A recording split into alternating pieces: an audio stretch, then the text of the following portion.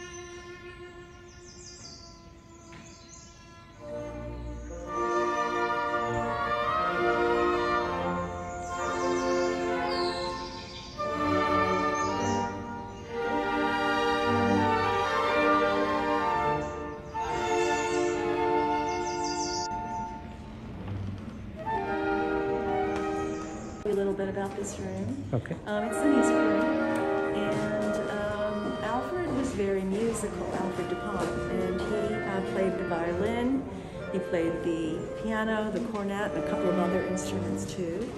and at one point even considered having a career in music. However, it's a good thing he didn't because he went deaf. He had a, a progressive hearing loss, and by the time he built this house, he was pretty far along. Oh, okay. Yeah. So, but you do see his his violin over there, his um, piano. Um, uh, his stepdaughter Alicia is musical, and so she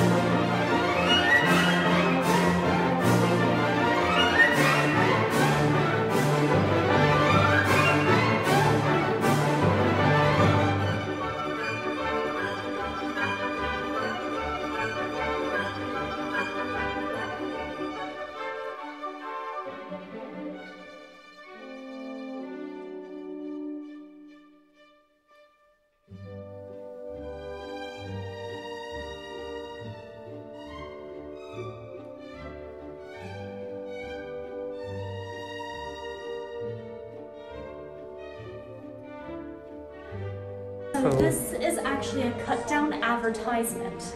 So it originally would have had writing around it, and it was for a dance hall called the Cicada that was in France. Okay. So you can see the band, and it's a little bit hard to see, but she has a guitar over her shoulder. Ah, so it's advertising like a dance hall, singing, um, entertainment, kind of like that. And they just thought it was beautiful, so they cut off the advertisement and framed it.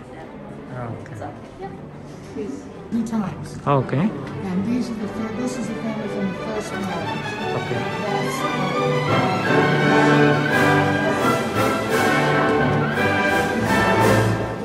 She was the youngest.